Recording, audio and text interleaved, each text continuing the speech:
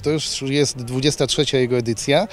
My jedziemy w tym roku ponad 30, 31 kilometrów, a uczestników jest y, ponad 700 i to nie tylko z terenu powiatu wodzisławskiego, ale także z województwa opolskiego, małopolskiego, no oczywiście śląskiego, ale także z województwa łódzkiego i pomorskiego. Także okazuje się, że, y, że ta idea y, naszego rajdu y, znajduje y, rzeczywiście chętnych. My jeździmy od czasu do czasu e, na, na rowerach.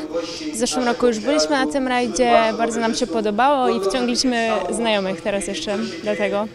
Jest to, uważam, najlepsza forma spędzenia takiego wolnego czasu w taki sposób bardzo aktywny, a przy okazji, bo w tym rajdzie uczestniczą nie tylko mieszkańcy naszego powiatu, jest e, sporo osób spoza powiatu. Dzisiaj jest nawet delegacja z zaprzyjaźnionego powiatu tczewskiego, czyli z drugiego końca Polski i e, po to, aby pokazać to, co powiat ma najlepsze. Jak piękny jest nasz powiat, jakie mamy wspaniałe tereny właśnie do tej turystyki rowerowej. Kasło, rajd rowerowy, jedziemy.